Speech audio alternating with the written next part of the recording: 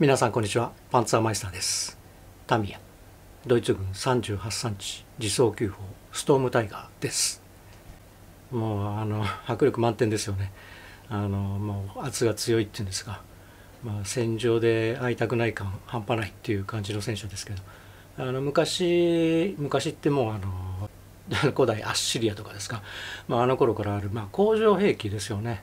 はい。まああの鉄のまあ、拠点とか土地化とか、まあ、そういうのをまあ潰すための特化した戦車っていうことですけどあのまあ何しろまあこの外観ですよねもう非常にもう特徴的で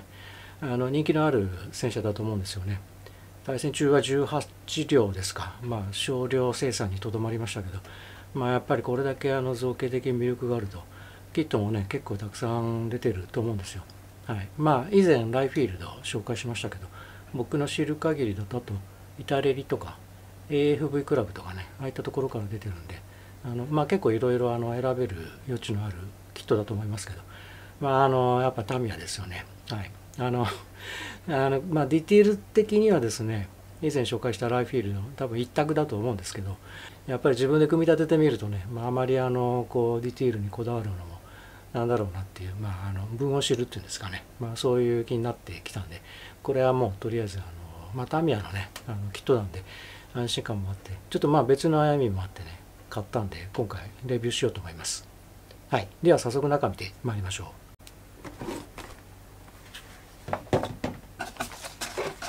組み立て説明図ですね。はい、はい、もう中はもうこういう感じで非常にシンプルな構成ですね、はい、あの組み立て式の履帯とか入ってますね。組み立て説明図です。表紙は実写の解説ですね、はい。まあ、いつものように6カ国語ですか、はい、翻訳されてますね。注意書きと、まあ、カラーチャート、はい、で組み立て開始は株車体からで、まあ、タミヤなんでねあの株車紙はもう当然箱組み済みなんで、まあ、スイングアームとかリアパネルつけたりとかもうあの、まあ、本当にシンプルなスタートになってます。であと、まあ、この車両はあの一応ツインメリットコーティングですね、はいまあ、僕もツイメリットコーティングの、まあ、いわゆる練習用にこのキットを買ったんですけどあのここですね網掛けの部分とコーティングされてる部分は分かりやすくあのこう表示されてるんでこれ非常にいいですね、はい、あのどこやったらいいのかとか迷うこともないんでファイナルドライブの基部とか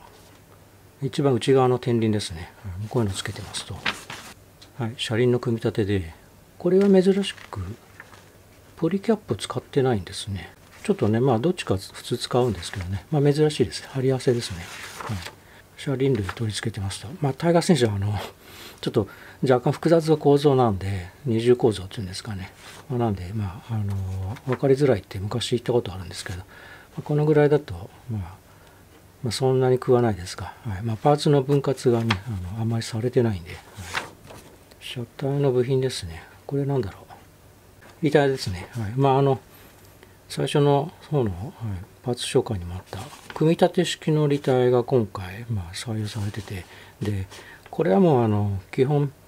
タイガー戦車の後期型ですね、はい、車台がそれベースなんであのまあ伝説まあ僕的にはもう伝説って言っていい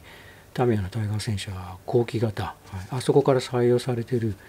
組み立て式の履帯ですね。このパーツがついてます、はい。まあこういう感じであの車輪のどこに噛むとかあとまあ側面図とか一通り揃ってるんであのまあ当然ねあの今は接着剤がいいのありますから組み立てはそんなに大変じゃないと思うんで、まあ、問題はあの押し出しピンですか、はい、あのまあ処理ですよね、はい、そこぐらいじゃないですか。これはリアパネルの組み立てでまあタイガー戦車の後期型のまあ一般的な組み立てですかね、はい、これはエンジンデッキのところのまあ天板ですね。はい、あとまあ点検ハッチとかこういうものですね。はい、で、これはなんだこれ戦闘室の床ですね。はい、あ、そうだ。これはあれだ。あの装填装置の、まあ、一部ですね、はい、さっき作った、まあ、これにあの砲弾乗っけてあのこう前に押し出して装填するっていうやつですね、はい、あと後で紹介しますけどオプションであのエッチングパーツですね。えー、っとまあ、タミヤはまあ当時はまだエッチングパーツ標準であまりついてることなかったんであのこの辺のエンジングリルのところは別扱いですね、はい、の先頭室ですね。床床つけてこれ砲弾ラックですね、はい、ある程度だからインテリアもまあ再現されてるってことですね。砲弾ラック組み付けて砲弾ですね。あとまああのいわゆる注意書きっていうんですか。あのデカールがちゃんとついてるみたいですね。はい、はい、フロントパネル組み付けてエンジングリルですね。まあ天板つけて。まあここからはまあ周平層ですね。まあ手法の組み立てですね、はい、この辺がね一体設計なんでねあの、まあ、ディティールがちょっと気になるところですね、はい、開閉器。まあボールマウントとか、こういう感じでパーツがね結構思ったより多いっていうのとあとこれですね。さすがにあの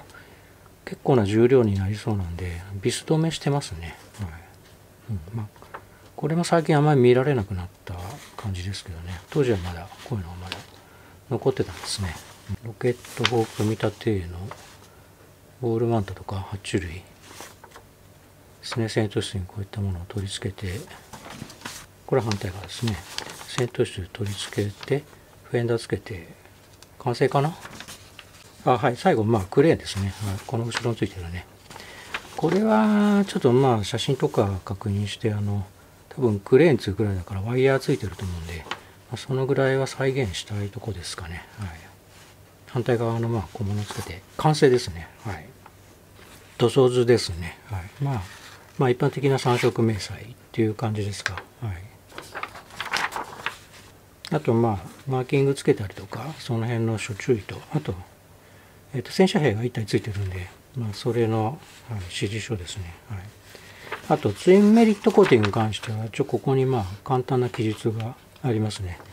まああのパテ使ったりなんらりとかいろいろ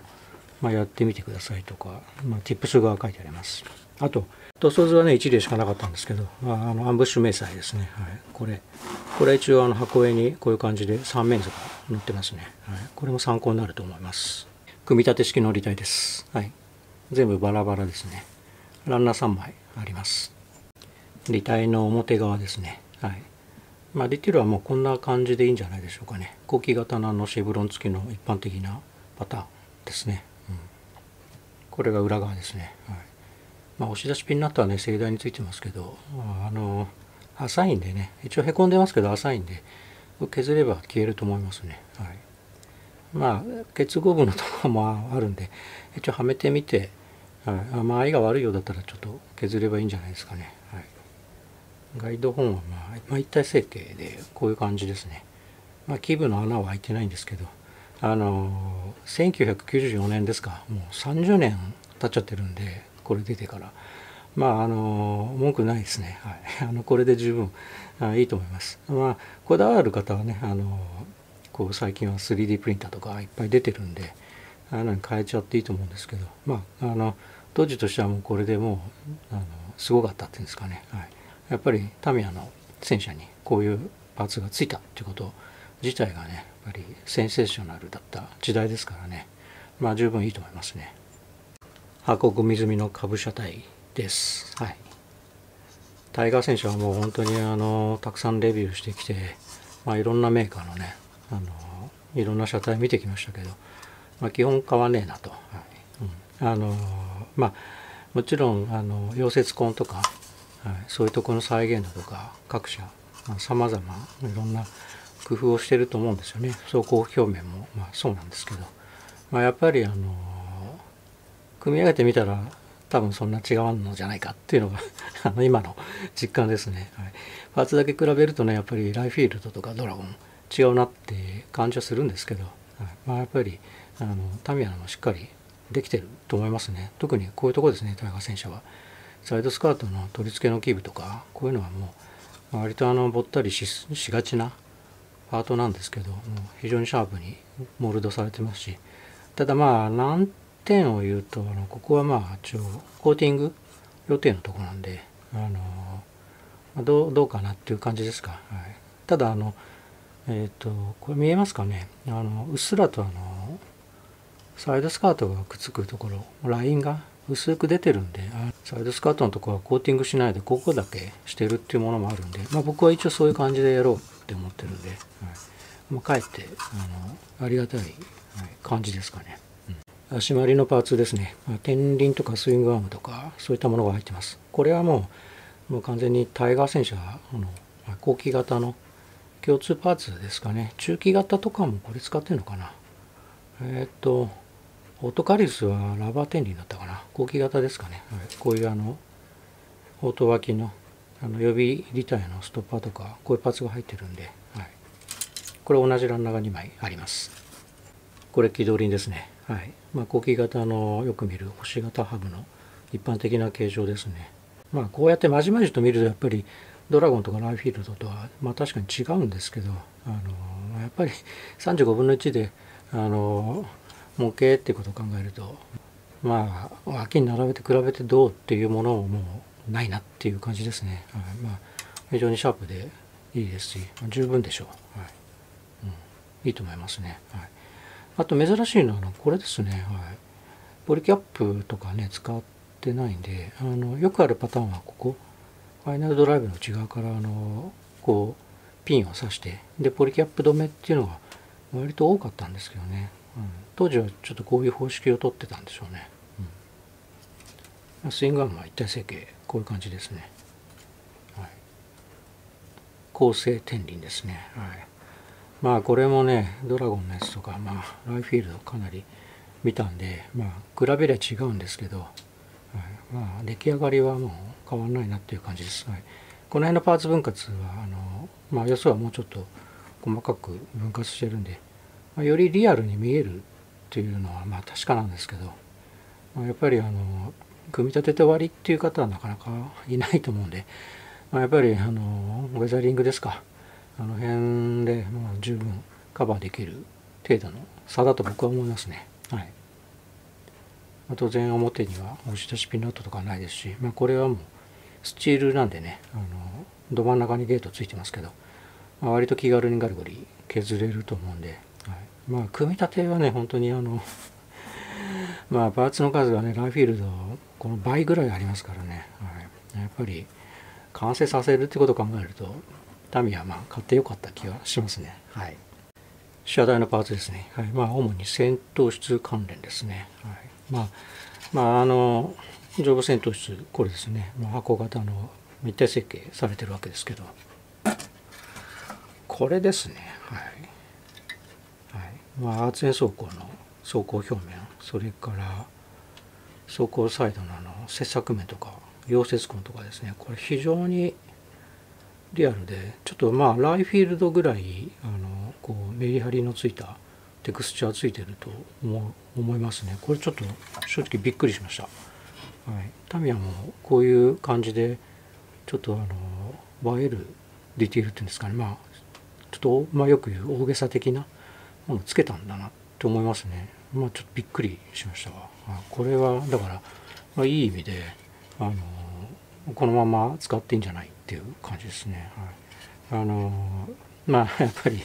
パテとかねこうこうやりたくなるんですけどね、はい、ちょっとこれこのまま使いたいなっていう気は非常にしますね。この辺もあのまあすごくリアルなはい、切削面なんで、まあ、僕なんか結構ここ削るの好きなんですけど、まあ、やっぱりあんまりやりすぎちゃうとちょっとなんかやりやりすぎっていうんですかね。あのこれはあのわざとらしく見える心配もあるんで、この線としては非常にいいですね、はい。まあ、ただ天井は何もないです、はい。はい、まあ、まあ、そんなもんですね。はい。あとまあやっぱりもう2000年代もそも間近っていうことなんでやっぱり細かいパーツのディティールが非常にシャープですよね。バリとかも全然ないですし。であとまあこれですね、はい、手法のあのこう先っちょの部分ですね。これは非常によくできてますよね、はい、で当然こういうあの鋳造品も鋳造表面非常にしっかり再現されててちょっと僕はここもうちょっとぬるいものがついてると思ってたんで正直あのまあアフターパーツ買う必要あるかなって思ってましたけどまあいらないですね。まあさすがにあの中のライフルマークは再現されてないですけどまあそこまでそこまでこだわることはまあないかなっていう感じですね、はい、ここですね。この基部のパーツもこういう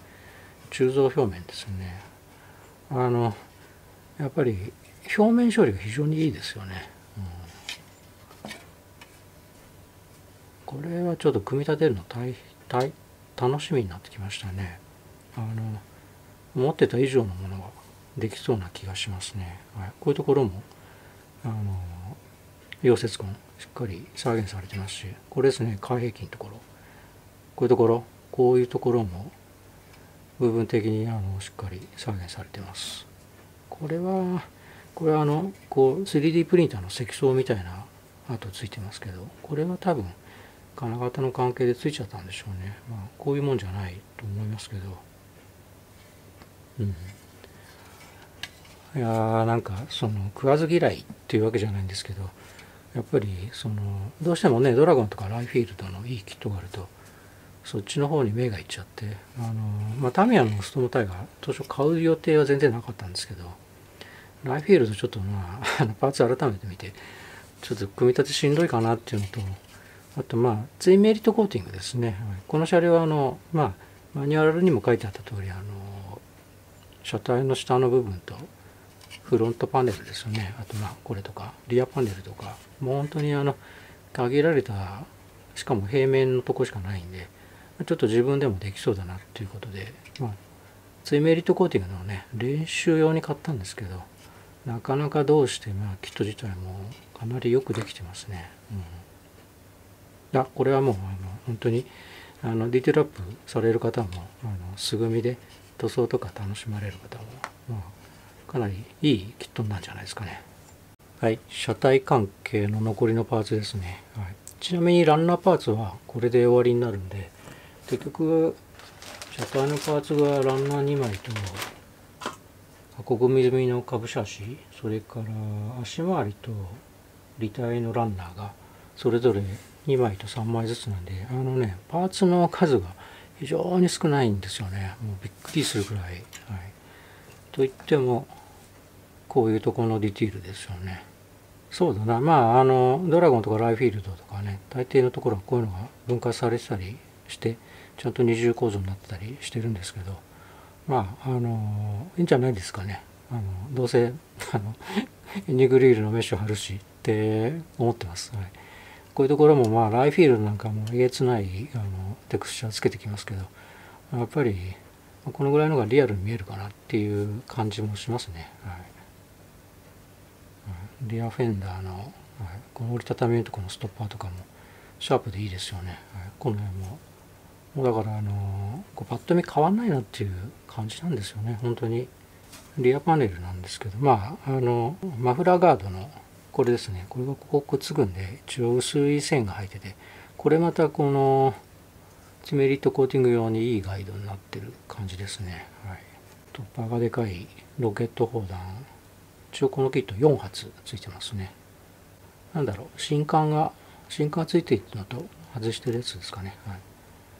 まあコグリーはコグリーは30年前なんでこんな感じですかね。はい。まあ、クランプとかはまあちょっとまあ残念ですけど気になる方は変えちゃっていいんじゃないですか。これ砲弾ラックですね。はい。と戦闘室の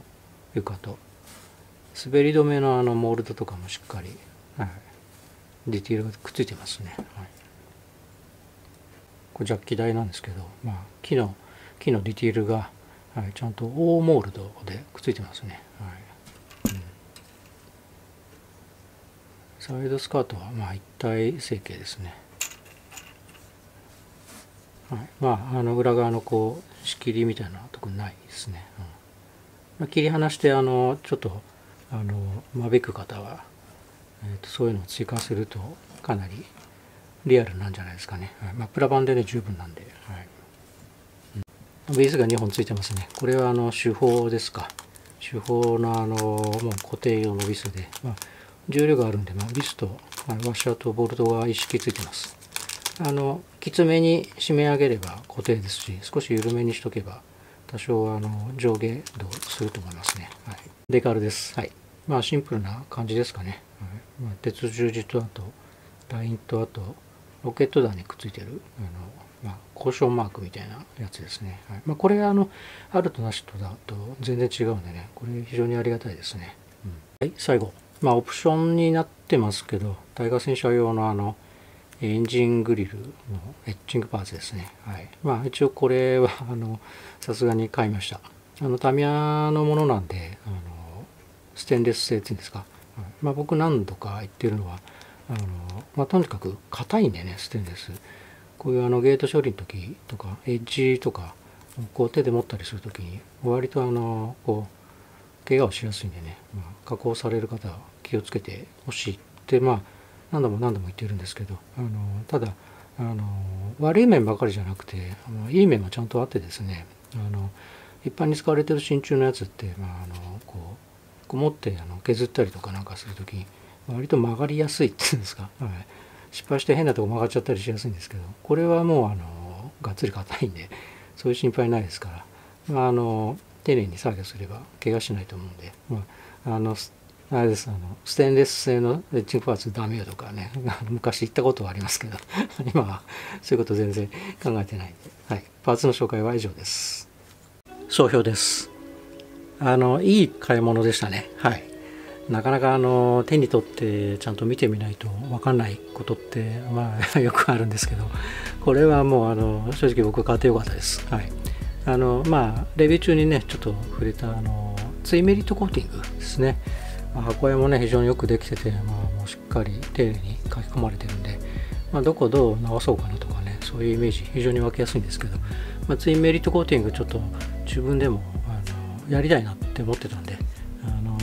さすがにタイガー選手とか4号選手はまだまだ荷が重いって思ってた矢先にあそういえばストームタイガーツインメリットコーティングじゃんって思って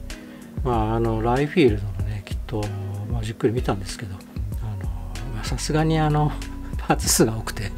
あのちょっとあのひよったっていうんですかね、まあ、あのちょっとあの腰砕けになったんでダメなやつ、まあ、どうしようかなって思ってたんですけどあのまあよくしたもんでね YouTube であのレビューされてる方、はい、組み立てやられてる方とかねこういくつか動画見て、まあ、ちょっと買ってみようかなって思って、はい、まああの AFV クラブも実は買えないこともなかったんですけどまああのやっぱり最近いろんなのを組み立ててみてあの、まあ、タミヤがなんでこんな売れるのかなっていうのはよくあの分かった気がしてるんで まあ、パーツの愛がね全然違うんで。まあなんでタミヤ買いましたけどまあ買ってよかったですね。はい。まああのなかなかその多作じゃなくてねこうあれもやりたいこれもやりたいでたまる一方でねなかなか手が進まないんですけどまあ、ツイメリットコーティングやる、まあ、非常にいい練習台になるって思ってたんですけどこれはこれであの、まあ、僕自走法もね好きなんで、まあ、本当にあのちょっとフィギュアを別なのをこう入れていろんなシーンとかちょっとまあ妄想がまああのこう湧き起こってる最中ってとこですかね。はい、あのまああのレビューやってるんであの最近あんまり言ってないんですけどこれはもうあのいろんな人におすすめしていいっていうキットですね。はい、素組みでね塗装で楽しむ方もいればもうとガリゴリにあのこう中いじりたいっていう方もおられますしあとまあライフィールドとか AFV クラブはインテリアのキットがついてたりするんで中もしっかり作りたいっていう方はまあちょっとまあ線に漏れると思うんですけど、まあ、やっぱり普通に組み立てていろいろ楽しみたいっていう方には非常にあのこうハードルがそんなに高くない、まあ、これ高キットですね、はい、タミヤのキットなんで、まあ、接合部で問題になりそうな戦闘室ですか、はい、あの辺もまあ多分心配ないと思うんでね、まあそうだなまあ唯一まあ若干ちょっとまあ個人的にちょっとまあ若干不満だったのはりたいぐらいですかねまあでもこれはもうあの 3D プリンターとかあの